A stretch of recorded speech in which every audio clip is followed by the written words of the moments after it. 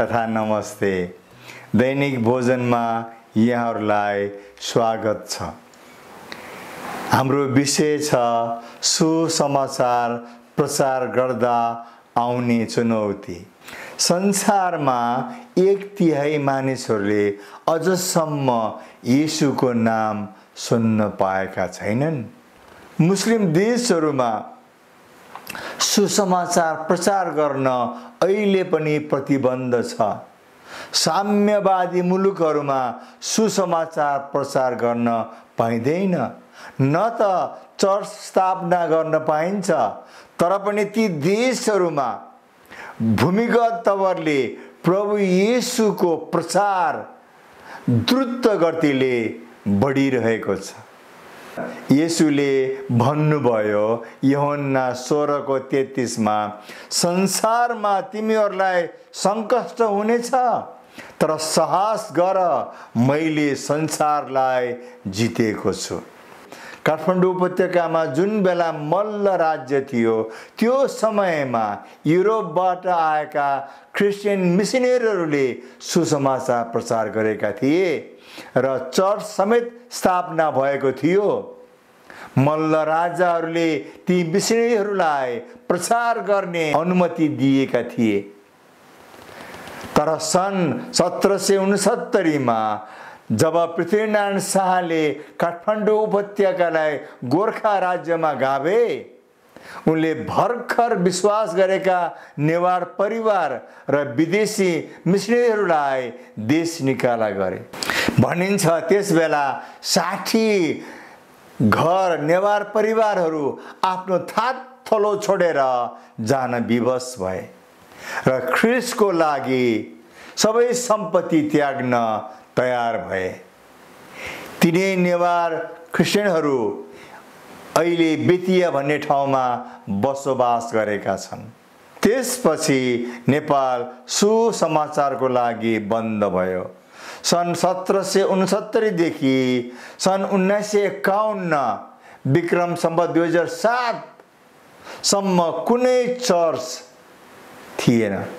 कसैलाई पनि खुल्लम खुल्ला सुसमाचार प्रचार गर्न दिइएन केही व्यक्तिहरू प्रचार गर्न आएका थिए तर तिनीहरूलाई राणाहरूले देश निकाला गरे। एक सय बयासी वर्षसम्म नेपालमा अन्धविश्वास र अन्धकारले छोप्यो। नेपालमा बस्ने नेपालीलाई लक्ष्य राखी रक्सोल नौतनोवा रूपडिया र अन्य ठाउँमा अस्पताल र डिस्पेन्सरी खोलियो। त्यहाँ आउने नेपालीहरूको उपचारका साथै प्रभु येसुको सुसमाचार प्रचार पनि गरियो। ती भारतका नाकामा बसेर सेवा गर्ने मिसनहरू लगायत सारा विश्वका इसाईहरूले नेपालको लागि प्रार्थना गरे। यसको फलस्वरूप नेपालमा प्रजातन्त्र आयो फागुन सात गते दुई हजार सात सालमा। बिस्तारै तिनीहरू पूर्वी नेपाल मध्य नेपाल र पश्चिम नेपालबाट प्रचारको लागि भित्रिए। प्रचार गर्न सजिलो पक्कै थिएन। कारण नेपालमा घोर अन्धविश्वासले जरा गाडेको थियो। अहिले पनि त्यो अन्धविश्वास छँदैछ जे होस् प्रभुको सुसमाचार प्रचार काम बिस्तारै हुन थाल्यो।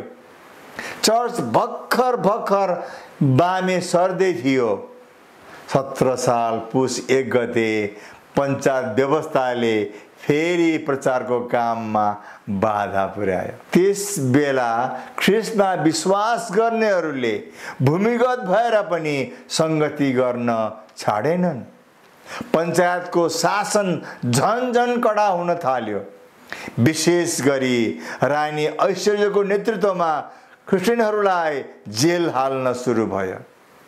उनकै पालामा सबै स्कुलमा मन्दिर बनाउने उर्दी पनि भयो। खुल्ला सङ्गति गर्न नपाए पनि वनमा गएर वा लुकेर भए पनि भेला हुन र प्रार्थना गर्न छाडेनन् विश्वासीहरूले। परमेश्वरले त्यस बेला धेरै आश्चर्य कामहरू गर्नुभयो। तिनीहरूले प्रार्थना गर्न थाले।